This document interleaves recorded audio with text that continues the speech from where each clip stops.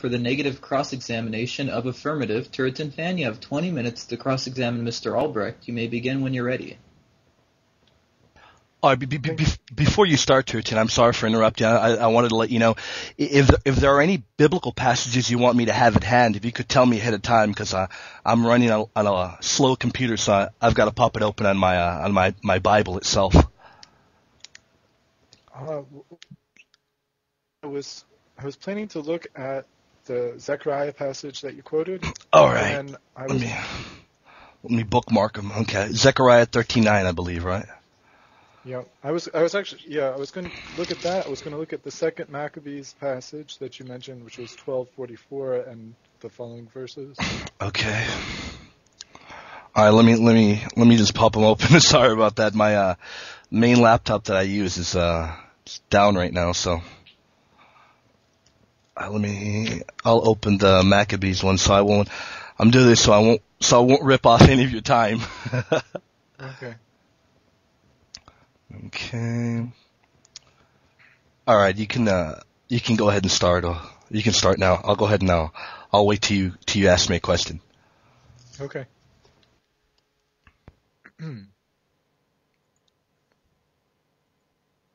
uh, I'm sorry. Just before I get started, it's 20 minutes or 10 minutes? I think it was 20, wasn't it? I'm not too sure. You have 20 minutes. 20, This is okay. the- This is the first cross-ex for you, Turretin Fan, to, to cross-examine Mr. Albrecht. So, The se- Okay. the second one would be 10 minutes, so I'm correct, right? Yes, the second one's 10 minutes. Great, okay. Although the second one that's happening next will be your cross-examination. Right, Turretin, right, And you'll have 20 minutes to do that. right. Okay, great. Okay. So I'm muting my mic and ready, set, go. All right. Uh, thank you very much for your opening presentation. I'd like to begin by directing your attention to Zechariah 13:9. Okay, And- great. Uh, the reason I was directing your attention there is because you had cited this as uh, as evidence of a belief in purgatory. No, no, I, I think you you might have misunderstood me. I mentioned Ze- I, uh, well, Zechariah came up twice actually. I mentioned it first in reading the um, the Jewish Encyclopedia, and then the second time that I brought it up was in reference to the Greek word puros for fire, in uh, in the sense of uh, uh, of things that are refined, that are uh, refined as they go through the fire. But uh, never did I once say, or nor do I believe that Zechariah thirteen nine. Uh, uh, teaches purgatory or even a purification of a of a human being at all in um in the sense that uh that Catholics believe in purgatory. Okay, so the uh,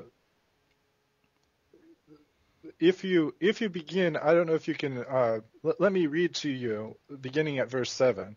It says, "Awake, O sword, against my shepherd, and against the man that is my fellow, saith the Lord of hosts.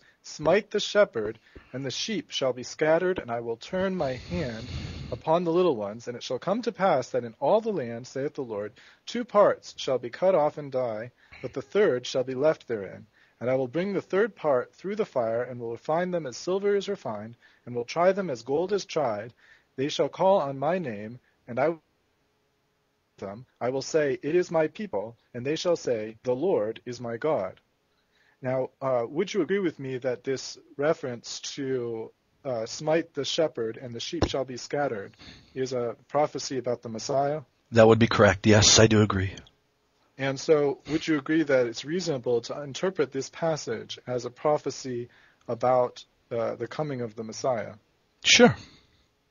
and uh, and consequently to have this uh, this large scale destruction of two thirds uh, and one third being a reference to something like the the destruction of Jerusalem, where where a huge amount of the people were cut off, but some uh, minority percentage survived. Well, I would agree that um whereas I don't agree with everything that uh, that the author of the Jewish Encyclopedia has written on this verse, uh, the main reason why I point pointed out uh, this passage in Zechariah is because, uh, as we will see later on when I uh, get my cross-examination time and later on in my uh, closing, we'll see that uh, the particular usage of the Greek word puros is found here, and uh, that's the main reason why I use this passage in, in comparative usage of the term in uh, 1 Corinthians 3. But n- nowhere at all, I want to be clear, so that you won't uh, misunderstand. Nowhere at all do I believe that this passage teaches a, a, a purificatory state or stage or place or, or anything of the Right. matter. I understand that you don't believe that, and I, I didn't mean to suggest that you do believe it by asking these questions. What I do want to know, though, is do you agree that this destruction and purification through fire that's talked about here is something that was fulfilled through the destruction of Jerusalem? And uh, in, in light of the fact that the, the very next verses, this is 14.1 and 14.2, says, Behold, the day of the Lord cometh, and thy spoil shall be divided in the midst of thee. For I will gather all nations against Jerusalem to battle, and the city shall be taken, and the houses rifled, and the women ravished, and half the city shall go forth into captivity, and the residue of the people shall not be cut off from the city. So something like a destruction of Jerusalem, whether it's the the you know Babylonian destruction or the destruction in the time of uh, the apost- know, the, the apostolic era, but uh, but something like that. Would you agree that that's what this is talking about? Absolutely, yes. There, there's definitely a, a destruction being spoken of here. Uh, I apologize that I'm not able to comment on it further. I, I honestly did not, uh, you know, study the passage in depth. I, in fact, the, the main reason I, I've already told you why I mentioned it was not at all in dealing yet. Yeah, but uh, if, if that's what you're, if you've studied it in depth and that's what you're saying, well, I, I sure don't see, I don't see any any conflict with uh with the position that I'm putting forth. Uh, I definitely do see, as you pointed out, a, a destruction being referred to here. I, I've got no problem with that. Now this uh, this word, uh, Excuse me. this purification with with uh, through fire, then then could be something that takes place in this life, not in Oh, absolutely, without a doubt. Oh, absolutely. I, I, I'll, I'll be clear one more time. I apologize for not pointing out in my opening statement, but definitely the usage of puros. In fact, I would argue the majority of the times is in reference to something occurring in this life. I would agree 100%. I've got no problem with that at all. Yeah, but but nevertheless, that's uh, that may be may become significant in our discussion. Yes, I think it will be. I think I think it will be. That's why it's good to to pretty much get it set out so you can see exactly what my viewpoint is on this. Yes. So, uh, turning, if you'll turn with me to Second Maccabees, this was another. Absolutely. passage. I've got that open. Second Yes. Maccabees, chapter 12, and uh, verses. Well, I'm going to be referring specifically to verse 40. Uh, the the context around verse 44. Right. Uh, but the the context uh, really starts. Uh, I think you mean 43, right, to, to 46, because 43 is where we read that, uh, Well- the gathering. Yes, the uh, the re- I, I think the place I would start with is actually at verse 38. Okay, I'll, great. I'll read it to you. Uh, so, so Judas gathered his host and came into the city of Adullam, and when the seventh day came, they purified themselves as the custom was, and kept the Sabbath in the same place. And upon the day following, as the use had been, Judas and his company came to take up the bodies of them that were slain, and to bury them with their kinsmen in their fathers' graves. Now under the coats of every one that was slain, they found things consecrated to the idols of the Jamnites, which is forbidden the Jews by the law. Then every man saw that this was the cause wherefore they were slain. All men, therefore, praising the Lord, the righteous judge, who had opened the things that were hid, betook themselves unto prayer, and besought him that the sin committed might wholly be put out of remembrance. Besides, that noble Judas exhorted the people to keep themselves from sin, for as much, uh, for so much as they saw before their eyes the things that came to pass for the sins of those that were slain. And when he had made a gathering throughout the company to the sum of two thousand drachms of silver, he sent it to Jerusalem to offer a sin offering, doing therein very well and honestly, in that he was mindful of the resurrection. For if he had not hoped that they that were slain should have risen again, it would it had been superfluous and vain to pray for the dead.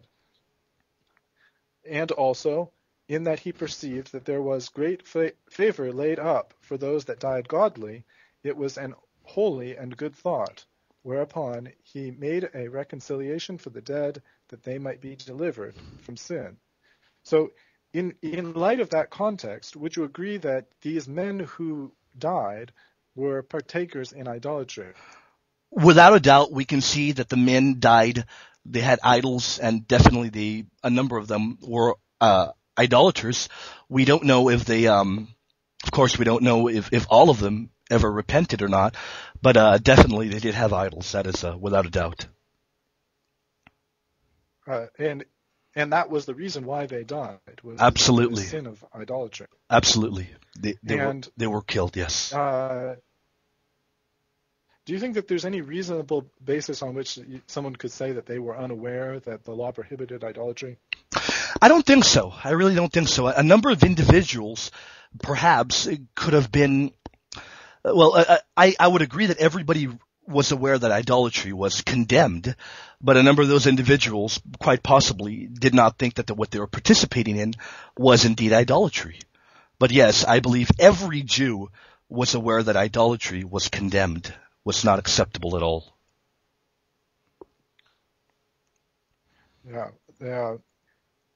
The uh, if, if, assuming that they understood that the things consecrated to the idols of the Jamnites were forbidden by the law, and they nevertheless were doing it, wouldn't that appear to meet the definition for mortal sin? Well, it's a very good question that you bring that up because uh, there is nothing in the verse that even hints that these individuals died in mortal sin. I would say that I definitely do agree idolatry is sinful, but fur- furthermore, if we continue reading the verse, verse 45 is rather explicit when it says that there was great favor for those that died in godliness. And then we, we actually encounter the very Greek term musabias. And I believe that this is clear proof that these individuals, some of them, of course, I can't be speaking for all of them, but at least the author believes some of them, died in godliness, but with vestiges of, st- of sin still in their souls.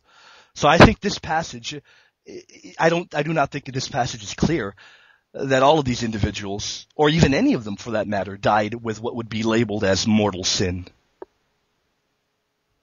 So, you know, having on your body I- idols and it being said that God killed you on account of the sin of idolatry is not enough to show that there's mortal sin, if I understood your answer. Well, for the fact of the matter is, if we examine this passage, we definitely do see that these individuals had idols.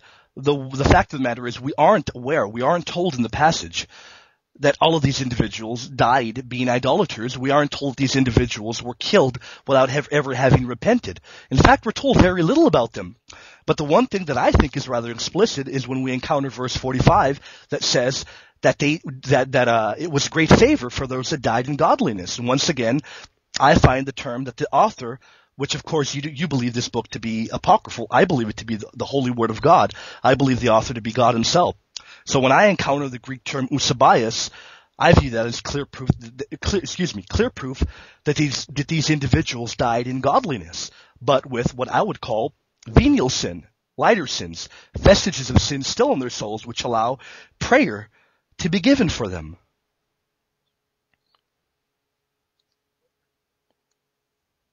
And uh, the and your basis f- for that was the the fact that, that it says, and also in that he perceived that there was great favor laid up for those that died godly. It was an holy and good thought. That is correct. That yes, verse and- 45, I believe. yes, and uh, After that, we those- read. Excuse me. Sorry about that. And what, uh, which people are those to whom it refers that those those that died godly? Well, again, once more, that's the interesting part. We don't know, and I believe that the that the individual speaking isn't aware of if if all of them, or a few of them, or even what number of them died in God's favor. But the interesting thing is, is that uh, we read that it says, and also in that he perceived that there was great favor laid up for those that died in godliness. It was a holy and ho- and good thought. What I, right after that, we read, whereupon he made a reconciliation for the dead, so that they may be, be delivered for their sin. The very fact of the matter that the author believes that they died in godliness, in eusebias, allows him to uh, to make a reconciliation for the dead, so that they can be delivered from the sin that they are suffering. And of course, uh, the belief in purgatory entails that we believe that individuals are undergoing some sort of suffering in the afterlife. And I think this passage is a perfect example of a belief in pur- an ancient Judaic belief in purgatory.